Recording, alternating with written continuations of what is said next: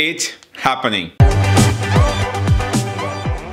What's up money geeks Mr. V here welcome to another video guys so in today's video we're to take a look at ticker symbol MRNA Moderna it's a pharmaceutical company and it's actually engaged in the development of a vaccine for COVID-19 so I did a video in the past talking about my top five uh, companies to watch or pharmaceutical companies to watch um, that are actually in the process of developing a vaccine or uh, creating a test for the coronavirus. So I'm gonna hook that video up here so you can definitely go check it out. As of yesterday, Moderna actually you know kind of put out some really good news that their vaccine is actually moving from phase one to phase two. That uh, the FDA has actually approved phase two trial of the vaccine, which is an excellent news. Um, but just be very, very cautious here that um, to develop a vaccine to the point where it can actually be effective usually takes a long amount of time. So if, if, if Moderna can actually nail this at their first pass, that would be excellent. So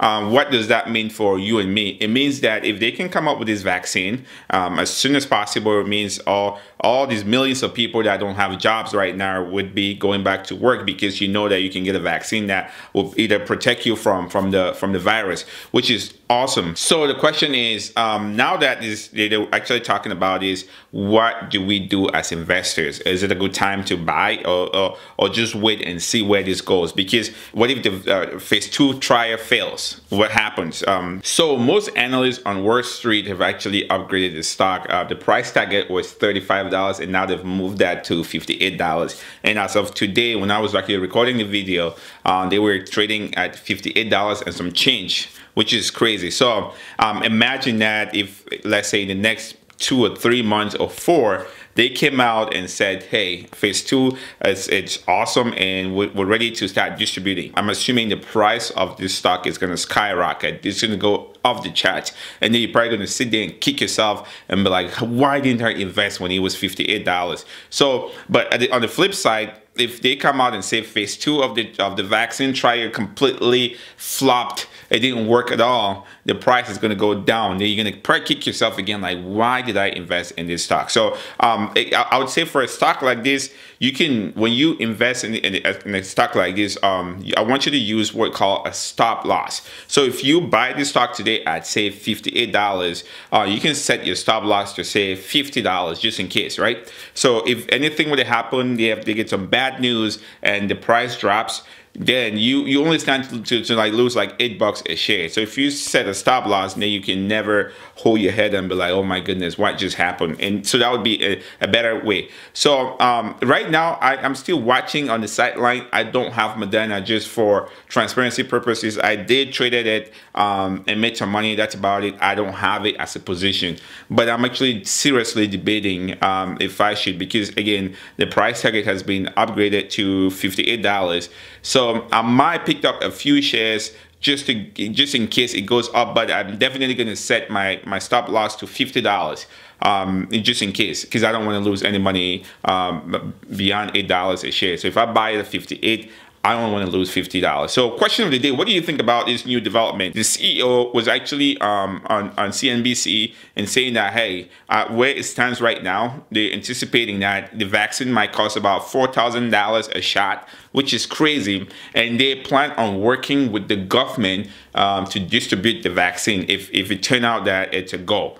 Um, so they're going to reach out to the government to determine who gets it um, and to prioritize uh, know, the distribution of the vaccine in the country because they don't have enough for everybody if the if the vaccine was proven to work, which is kind of scary. So um, the vaccine could be out there, but yet uh, you cannot lay your hands on them.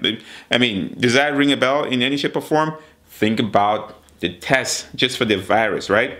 The COVID-19 test is not available to everybody. You cannot go to Walgreens and just buy you a test and use it. It's kind of a selective test for, for other people. So that is a, a scary thing. Um, just the price, uh, uh, again, for me as an investor, that's exciting. They're going to make a ton of money. If I buy into the company, I'm going to be fine. But um, just as, as a human being, uh, people that don't have the money for that, for the price of the vaccine to be looking somewhere between $4,000 that is scary.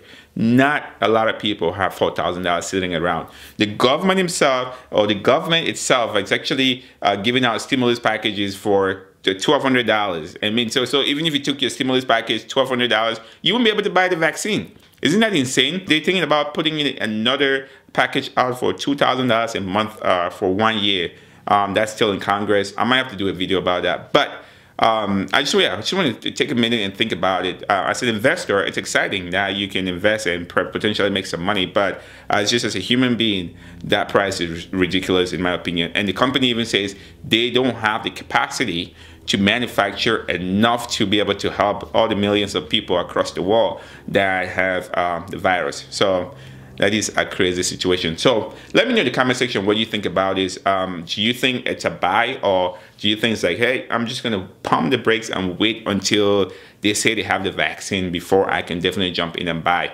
And then, oh, you think like, what about the price? Do you think the price that's set forth uh, or the anticipated price is something that makes you feel comfortable? Again, let me know in the comment section.